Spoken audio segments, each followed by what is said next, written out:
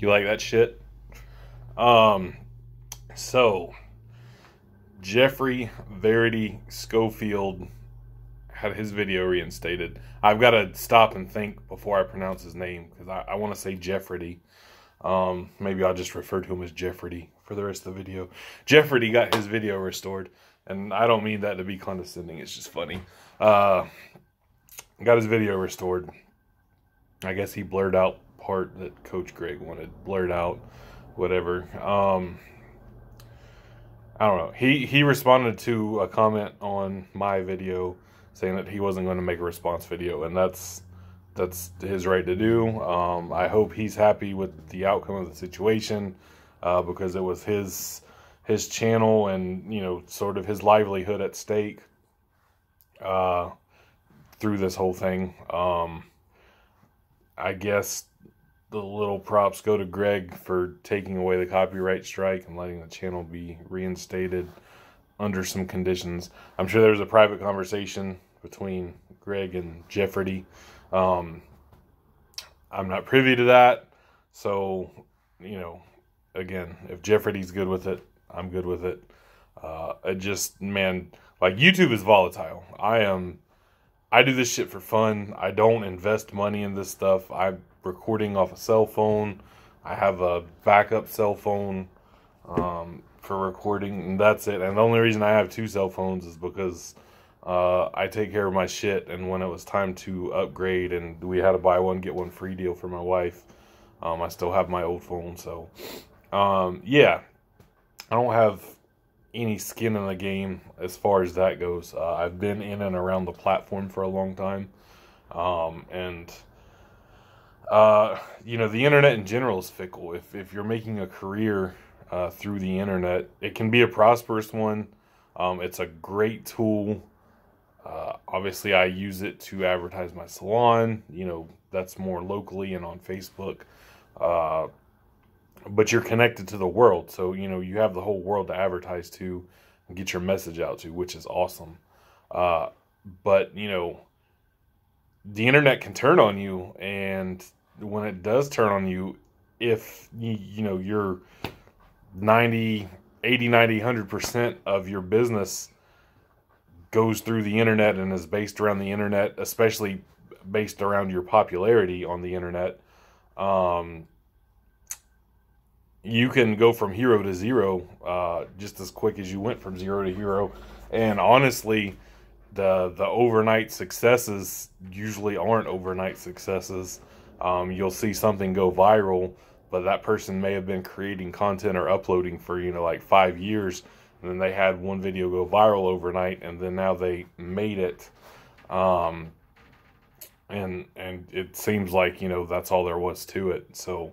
Uh, again, I'm I'm I'm glad that that's not something I have to rely on at this point. Um, so that's really what I want to say. it's like the internet's fucking fickle. Um, it just goes to show like how quickly things can kind of turn. Uh, again, good for Jeffrey that it worked out. Um, but it seems like you know on YouTube Fitness, that's kind of the nature of the beast, right? Is you call out your way to the top. Uh, again, I've been in and around YouTube. Can I say going on a decade now? I think I uploaded my first video in like 2013, um, somewhere around there. So, you know, I've seen people come and go. Uh, we've seen people even within the fitness community itself, uh, like be on top and sort of disappear. Uh, so just diversify your bonds. Um, yeah, don't put all your eggs in the YouTube basket. I mean, again, it, it's a great. The internet is a great platform to get exposure because it is literally unlimited uh, to how much exposure you can get. Uh, you know, but that can be bad. And the the people that are big, they don't want other people getting big. They can say that you know they'd like to help other people, but how often do you see it? How often do you see like the really astronomical channels like throwing a bone to the little guy. I think even I'll date myself a little here. Um, Endomorph Beast, way back in the day, uh, made a video about reverse hating, and it's you know somebody who got to the top or got high up, uh, not wanting to throw a bone down to the little guy to help them out. Um, and you know back back in those days, like if a big person gave you a shout out, it was almost like an instant. You know, half the community was going to subscribe to you.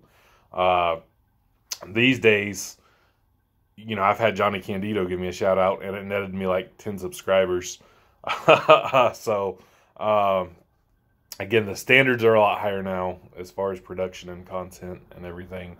Uh, but at the end of the day, you still have to get yourself exposed and get yourself out there. And it seems like the formula for that now is critiquing and or calling out uh, people that already have a big following.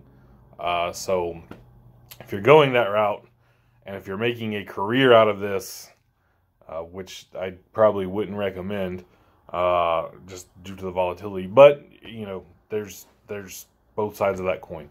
Um, I guess you know, be careful. Make sure you know your own legalities to a given situation, uh, because e- even what's right and what's wrong sometimes gets skewed, and the person in the right can be the one who doesn't end up the beneficiary of the situation and can off themselves basically.